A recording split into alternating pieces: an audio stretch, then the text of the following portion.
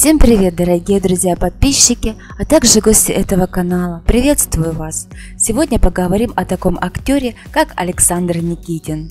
Пресса его называет роковым красавцем кинематографа.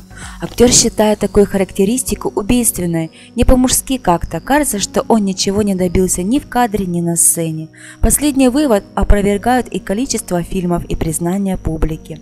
Впрочем, Александр честно признается, что готов сыграть и проходную роль, если предложит солидный гонорар. Дескать, на дворе кризис, а за символическую плату смотря у кого.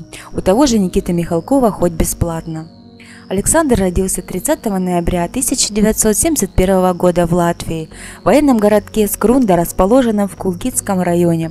Отец был потомственным военнослужащим, поэтому семья часто меняла место жительства.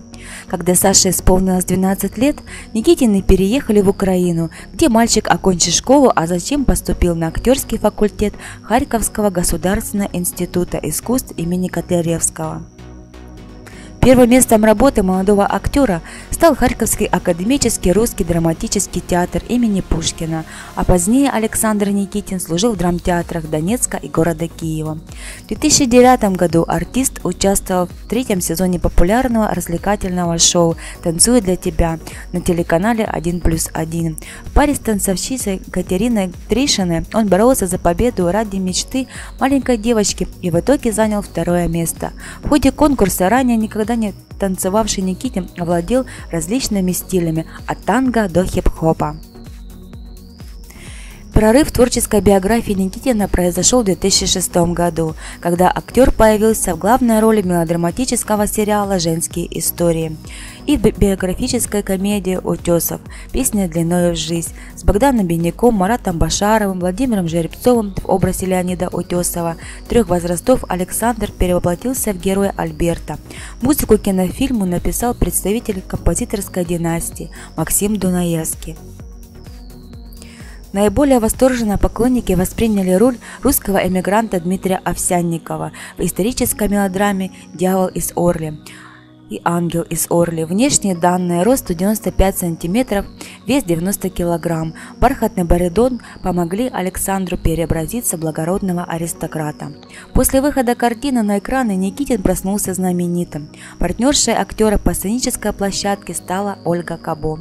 2008 он сыграл майора Добродея продолжение сериала «Солдаты 15. Новый призыв». Александр также был задействован в еще одном культовом сериале своего времени «Это закрытая школа», где он сыграл отца главного героя Максима, которого сыграл Павел Прилучный. В 2013-м Никитин приглашен на Бакинскую киностудию, где снялся в роли президента Азербайджана Гейдара Алиева картине «Самая простая фамилия». В 2017 он стал частью актерского ансамбля многосерийных лент «Заложники» и «Неизвестные». А в мелодраме «Не в деньгах счастья» его герой по сюжету вроде бы честный бизнесмен, а на деле оказался черным риэлтором. Совершенно противоположный образ доброго и чуткого следователя, партнера героини Майи Горбан. Актер воплотил в киноленте «Впереди день». Сериал «Березка» – своеобразный байопик знаменитого танцевального ансамбля Советского Союза. Личная жизнь Александра Никитина. Александр был женат дважды. От первого брака у него есть сын Илья, который родился в 1998 году рождения. В 2005 на съемочной площадке сериала «Дьявол из Орли» Никитин познакомился с актрисой Надеждой Бахриной, звездой телефильма «Кармелита».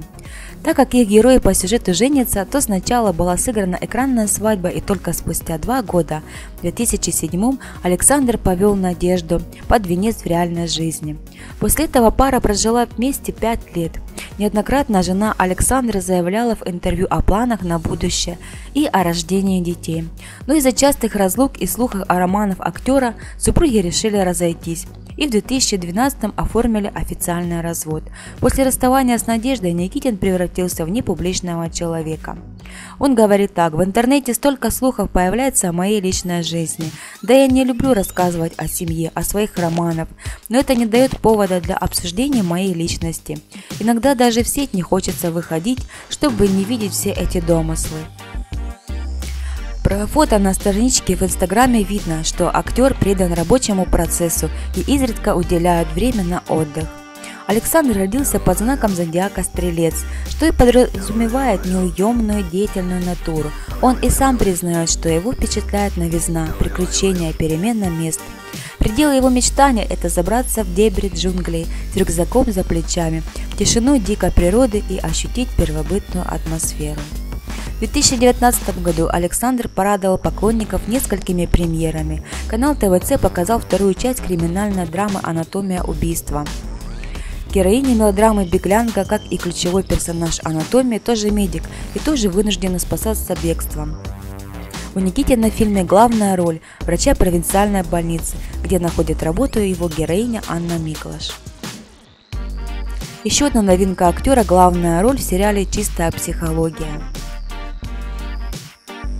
На этом рассказ подошел к концу. Пожелаем Александру еще много интересных ролей в различных кинофильмах, конечно же, в главной роли. Кто не подписан на мой канал, подписывайтесь, а также не забывайте жать на колокольчик, чтобы не пропускать новые видео. На нашем канале видео выходят по 2-3 штуки в день. А также, кому понравилось это видео, ставьте пальчики вверх. Если вы не нашли на нашем канале своих любимчиков, любимец или каких-то музыкантов и других деятелей звезд шоу-бизнеса, пишите в комментариях имя, фамилию, то, что бы вы хотели узнать или услышать. С удовольствием исполню все ваши пожелания.